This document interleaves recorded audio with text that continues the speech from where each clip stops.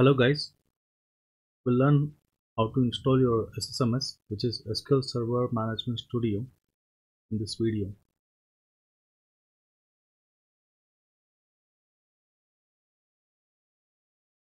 This Management Studio we need to download individually after installation of your SQL Server.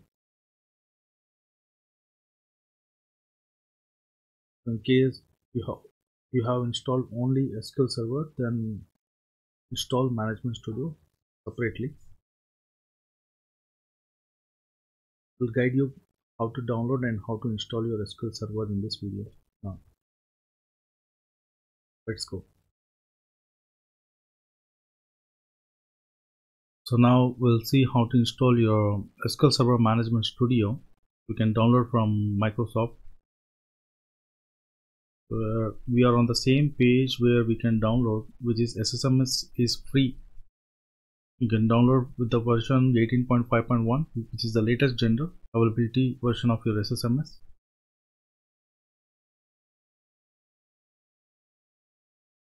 which was released on June 9th of 2020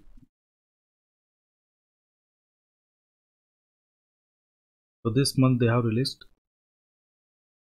you can click on this to download.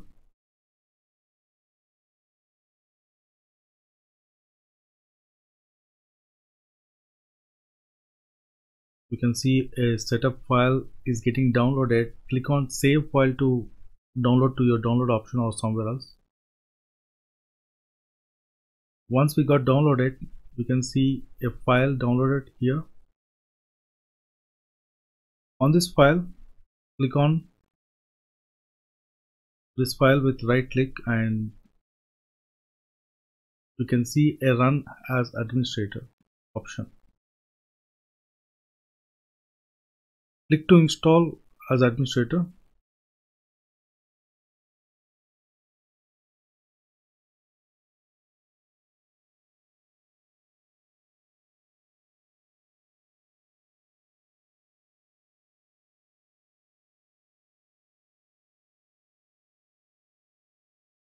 So restart is required in order to complete this setup.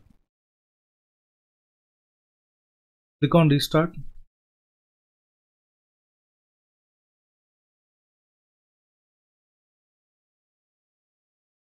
So we can continue with installing your management studio 18.5.1. Click on install.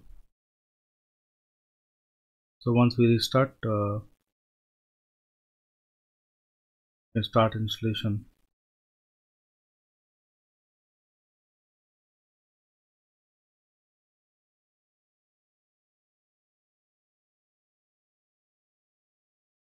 So the setup is completed for your SQL Server Management Studio. All the comp components have been successfully installed. You can close and open your Management Studio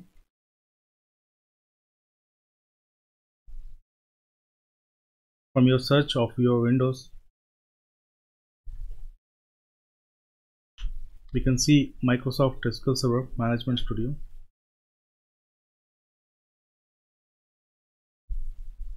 Click on this app. You want to run as run as administrator. Click on run as administrator as well as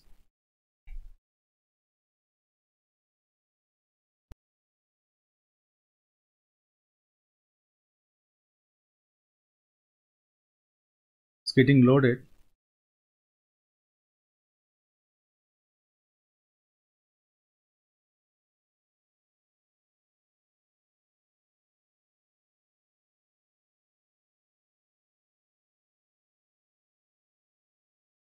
You want to log in with the service type database engine or analysis service or reporting services?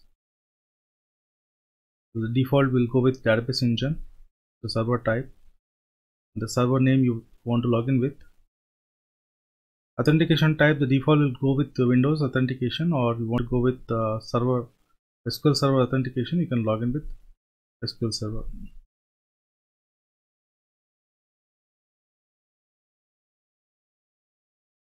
Choose the one the database engine where we have desktop number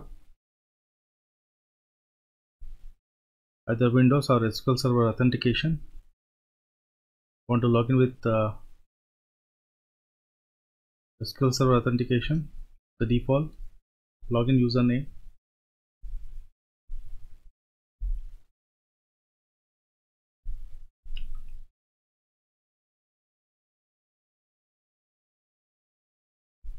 you can see the list of databases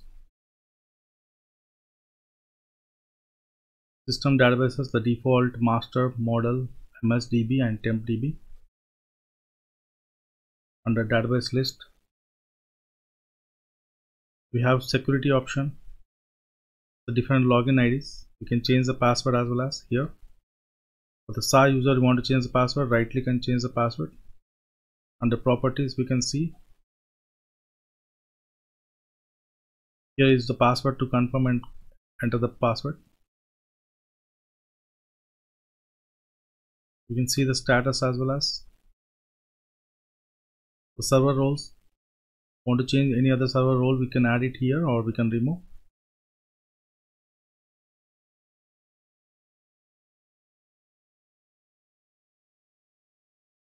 the SQL Server agent we can find out the list of jobs if been added or want to create any other jobs you can edit jobs here and we have option error logs under error logs any jobs got failed we can verify. You can click on current to find out any jobs got failed.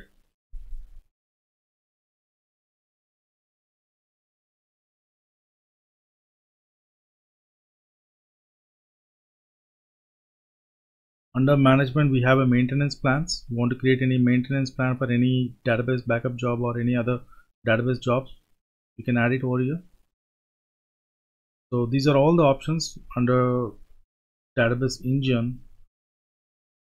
You can manage your database engine using SQL Server Management Studio. You can have a new query option same as Oracle Toad. We can write your queries from here. You can write your select statement the DML statements over here. We can save it and we can run those statements we can execute the statement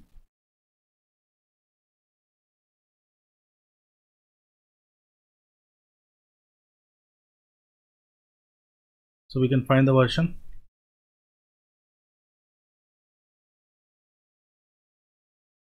we can get the database version using select at the rate at the rate version. You can run this query to get your version. On execute.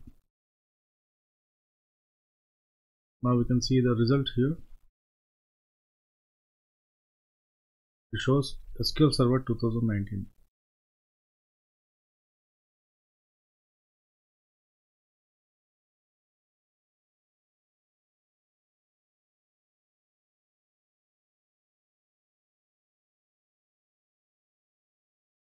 so done with your installation process guys and uh,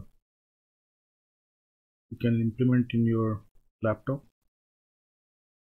In case you have any doubts or issues you can comment us so that we can help you out.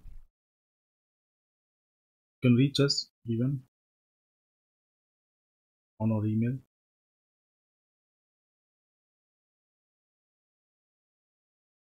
Okay guys. Thank you. Thank you all